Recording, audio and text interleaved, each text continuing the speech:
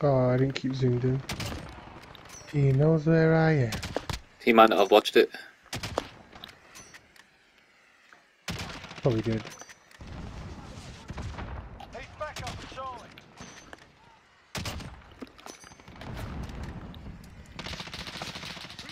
That was a funny little clip. This guy thought he could escape.